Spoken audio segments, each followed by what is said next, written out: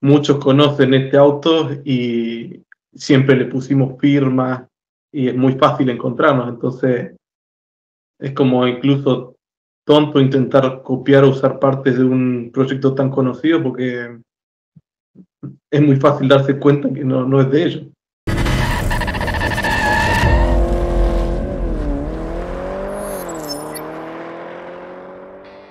La Asociación Corredores Turismo Carretera decidió organizar un concurso público para seleccionar el diseño actualizado del icónico Torino en vista de la modernización de la categoría en 2024 a partir de la incorporación de las carrocerías de Ford Mustang, Chevrolet Camaro y dos Challenger.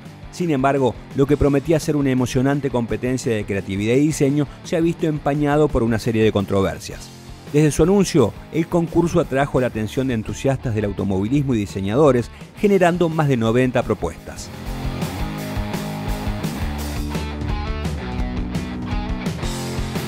Inicialmente se estableció que se seleccionarían solo seis diseños, pero finalmente se eligieron siete. Si bien la CTC se reservó el derecho de modificar unilateralmente en cualquier momento y sin previo aviso las bases del concurso, esta desviación de las reglas originales plantea dudas sobre la transparencia y equidad del proceso de selección.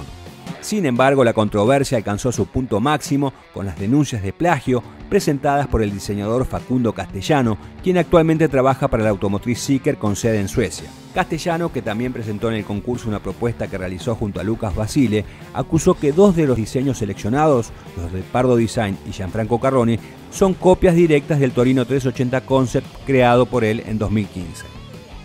Castellaro no solo presentó su acusación a la CTC, sino que también la hizo pública a través de las redes sociales.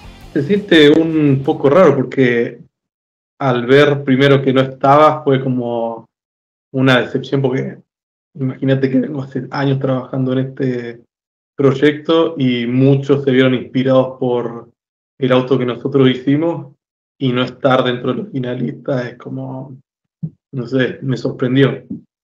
Y después lo otro fue que al ver que dos de los diseños son mi auto, mi auto modificado, eh, también me pareció súper injusto porque es como que muchos están usando de inspiración o usando mi modelo y no, no, no ponen mi nombre ni nada, entonces no, no es justo.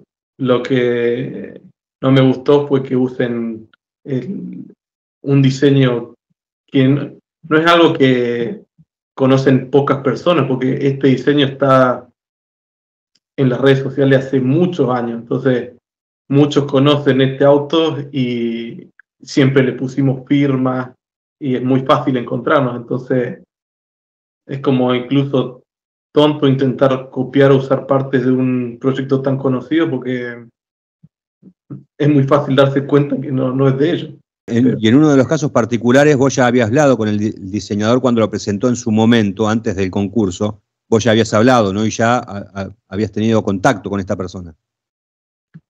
Sí, sí, fue, fue raro porque em, yo me acuerdo que vi esa publicación hace unos meses. esa publicación se viralizó mucho y fue las primeras veces que yo había empezado a escuchar de este rediseño del Torino, de, que se iba a hacer un concurso y todo eso. Entonces cuando eh, vi que estaba mi auto con calcomanías y, firma de otra persona, eh, me pareció súper raro y ahí nomás contacté al, al, que había hecho esas imágenes.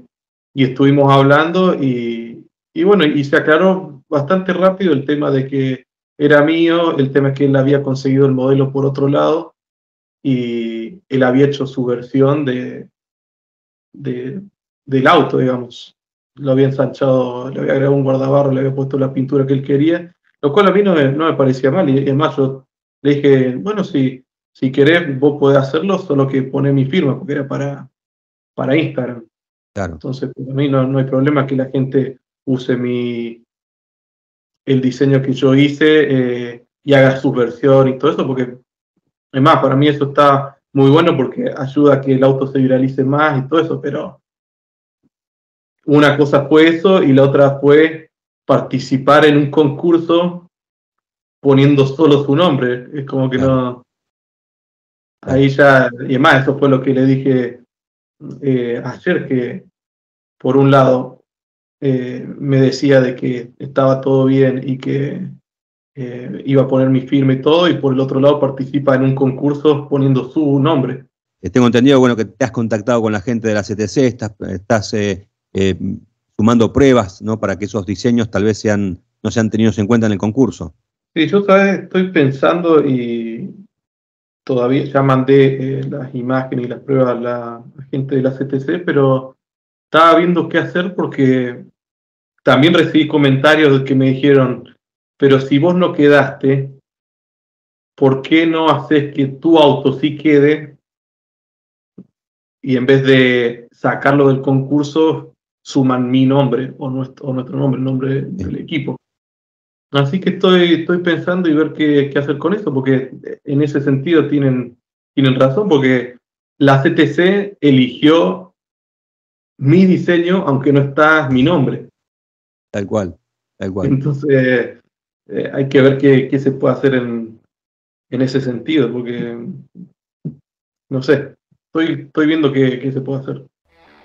El premio en juego para el diseño ganador, elegido por votación pública, es de un millón de pesos lo que aumenta aún más la tensión en torno a este concurso y sus denuncias de plagio. La CTC se encuentra ahora en una encrucijada, enfrentando la difícil tarea de investigar y resolver las acusaciones de manera justa y transparente para preservar la integridad del concurso y su reputación.